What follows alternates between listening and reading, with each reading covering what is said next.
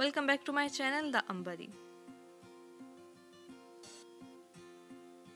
अस्सलाम वालेकुम कैसे हो आप सब? इस वीडियो में आप लोगों के साथ एक और पंचे का डिज़ाइन शेयर करने जा रही हूँ। तो उसके लिए मैंने शलवार की कटिंग कर ली हुई है और इस पीस की मैंने चौड़ाई ली है पाँच इंच और इसकी लंबाई आप देख सकते हैं, शलवार से कितनी ज़्यादा है।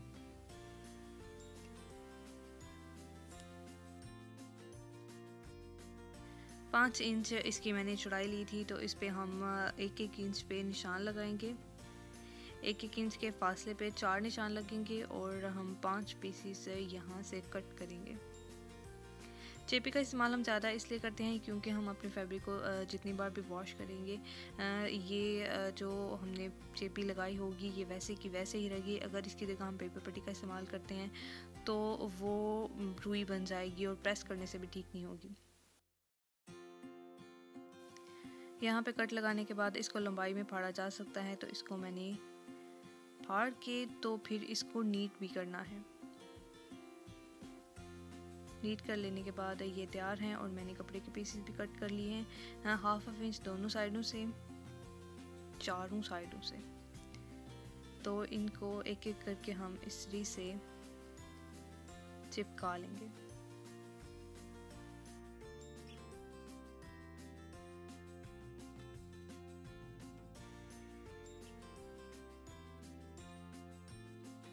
आप देख सकते हैं कि मैंने उसके जेपी के चारों साइडों पे हाफ़ हाफ़ इंच कपड़ा छोड़ा है।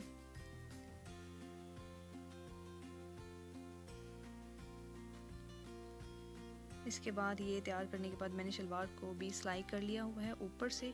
अब नीचे पंचे पे जो डिज़ाइन बनाना है वो। अब इन पे हम लगाएँगे पाइपिंग। पाइपिंग हम लगाएँगे लेकिन पाइपिंग हम नहीं लगाएँगे।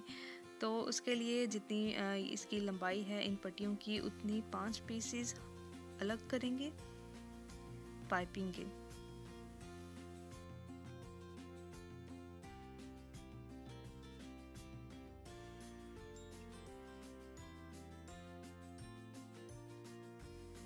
ये पाँच पीसेस अलग कर लेने के बाद अब इनमें जो धागा है, जो इसमें मोटा धागा है इस सबको निकाल लेंगे। एक एक करके सब में से निकाल के इनको प्रेस करेंगे। प्रेस करने के बाद ये हो चुकी हैं हमारे पास बिल्कुल नीट। तो इनको अब हम इनके साथ लगाएँगे। एक पाइपिंग की पट्टी लेंगे और ये एक जो जेपी वाली हमने बनाई हुई है, ये वाली इन दोनों को साथ रखेंगे। और इसके ऊपर लगाएँगे सिलाई।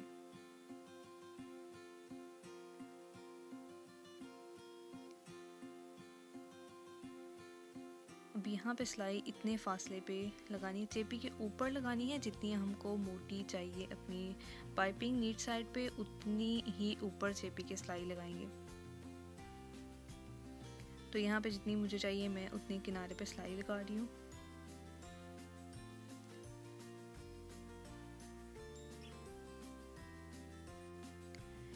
इसके बाद दूसरी एक कोड लेंगे, उसको भी वैसे ही उसके नीचे कपड़ा रखेंगे, अपनी पाइपिंग वाला।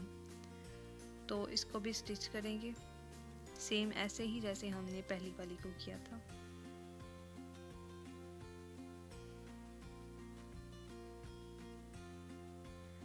ये इसको जब खोलेंगे तो ये कुछ इस तरह से हमारी नज़र आएगी। तो इसी तरह जितनी ये जो पाँच हमने तैयार की हैं, इन सबको एक एक करके हम इसी तरह से सिलाई लगा लेंगे। तो ये आप देख सकते हैं कि मैंने सारी पट्टियों को सिलाई लगा ली है। उसके बाद इनको खोल के तो प्रेस भी कर लिया है, यानी पाइपिंग वाले कपड़े को नीट साइड पे दूसरी तरफ़ करके तो उसको सिलाई उसको प्रेस कर लिया है। अब शलवार पे हम इसको, शलवार की उल्टी साइड पे रखेंगे एक पट्टी को। सबसे पहले इसका मीट करेंगे। यहाँ पे लगाएँगे कट इसके भी और अपने पाँच वाले कपड़े के हाफ़ इंच शलवार में से मैंने ज़्यादा रखा था। तो हाफ़ इंच अब यहाँ से अंदर चला जाएगा और शलवार की लेंथ हो जाएगी बिल्कुल पूरी। कट लगाने के बाद भी मैंने यहाँ पे पिन लगाई है कि आगे पीछे ना हो। तो अब यहाँ पे मैं सिलाई लगाऊँगी। हाफ़ इंच जो कपड़ा हमने रखा हुआ है, वो अंदर चला जाएगा।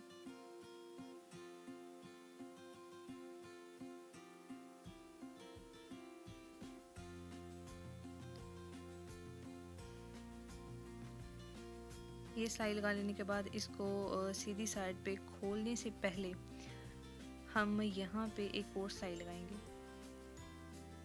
यहाँ पे नीचे जो नीचे वाला कपड़ा है हमारी सेम अलाउंस यानी कि जो हमने सिलाई का मार्जिन रखा हुआ था, उसको ऊपर वाली साइड पे करके तो यहाँ पे शलवार वाले कपड़े पे सिलाई लगानी है, ना कि चेपी के ऊपर। अब इसको प्रेस करने की भी ज़रूरत नहीं है और ये नीटली फोल्ड हो जाएगा।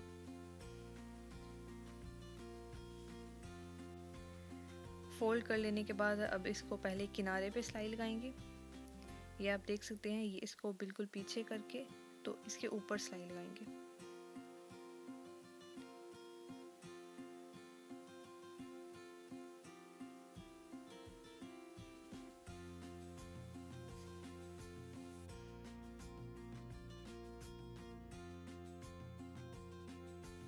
अब पौचे को फोल्ड करके तो मिड में निशान लगाएँगे। इसको भी और इसके साथ अब जो इसके आगे हम एक और पट्टी जो लगाएँगे, उस पर भी हम मिड करेंगे और यहाँ पे निशान लगाएँगे सेंटर में। अब इसको इसके नीचे रख के और पाइपिंग जो हमने लगाई है, उसको अंदर की तरफ़ फोल्ड करके तो लगाएँगे, लेकिन हमें अब ये अंदाज़ा नहीं है कि इसके अंदर कितना कपड़ा जाएगा। तो उसको इस तरह से हम निशान लगाएँगे। यहाँ निशान बहुत इजीली लग रहा है, क्योंकि जो चेपी हमारी इसके अंदर हमने चिपकाई हुई है प्रेस से, वो हार्ड है।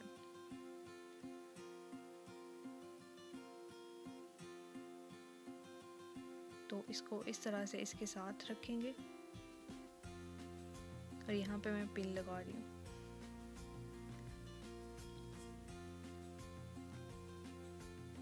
आप चाहें तो यहाँ से दरमियान में से भी सिलाई शुरू करके दूसरी साइड पे ख़त्म करके फिर एक साइड की दोबारा से फिर लगा सकते हैं। तो मैं यहाँ पे एक साइड से सिलाई शुरू करूँगी।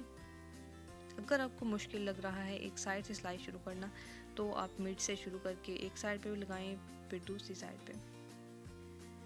यहाँ से सिलाई शुरू करके तो अब हमें ये भी आइडिया है कि हमने अंदर कितना कपड़ा दे रखना है और इसको ऊपर से अंदर की तरफ़ फोल्ड करके पाइपिंग को ये हमने जितनी भी अब बारीक रखनी है, वो हम अपनी मर्ज़ी से रख सकते हैं।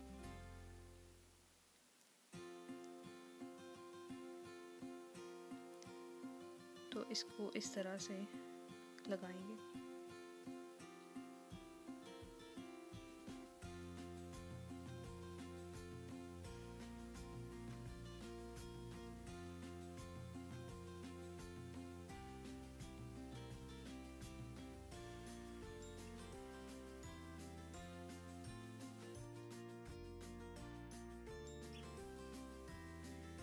इसके बाद इसके बाद जो तीसरी हम लगाएँगे वो उस पर भी कट लगा लें या दरमियान में चाक से निशान लगा लें।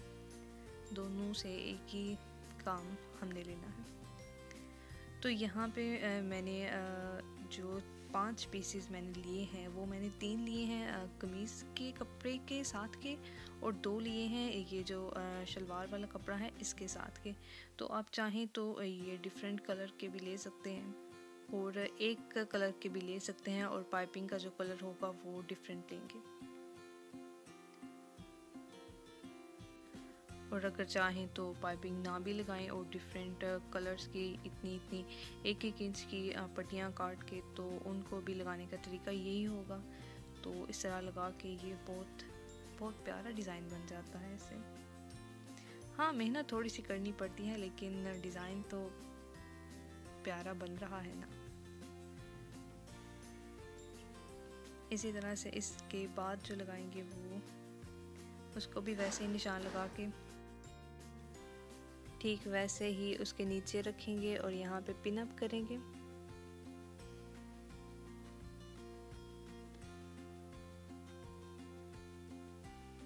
सेंटर का ख्याल अगर आगे पीछे हो भी जाए तो ज़्यादा मसला नहीं होगा क्योंकि हमने हाफ़ हाफ़ इंच साइडों से भी ज़्यादा रखा था। तो अगर यहाँ पे अगर हमारी चेपी कम हो भी जाती है तो हाफ़ इंच जो कपड़ा है वो उसको पूरा कर देगा।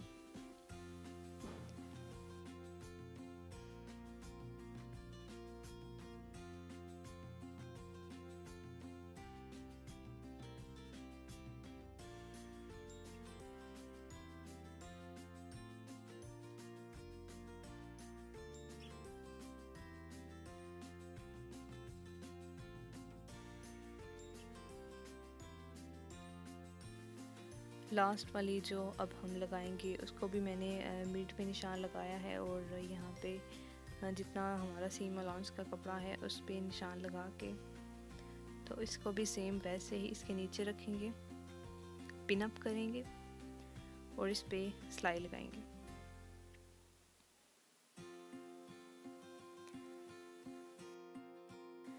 अगर आपको मेरा ये बनाया हुआ डिज़ाइन पसंद आया है तो एक ही काम करना है, ज़ाहिर सी बात है यूट्यूब पे वीडियो देखते हैं। तो सब्सक्राइब सब्सक्राइब यही है, सब यही कहते हैं। और लाइक करना भी मत भूलिएगा, और अगर किसी से एम ही व्हाट्सएप पे शेयर भी करना चाहें तो वो भी कर सकते हैं। सब वीडियोस के नीचे इतने ज़्यादा फीचर्स दिए होते हैं, उनका यही तो मकसद होता है कि उनको इस्तेमाल किया जाए।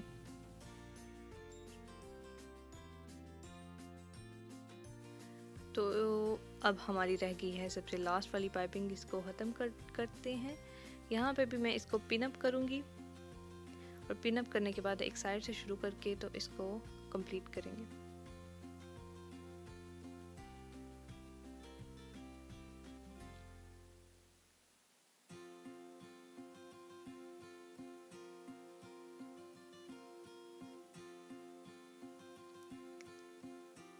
तो ये हो चुका है हमारा डिज़ाइन तैयार। अब यहाँ पे जो एक्स्ट्रा कपड़ा है उसको कट करेंगे।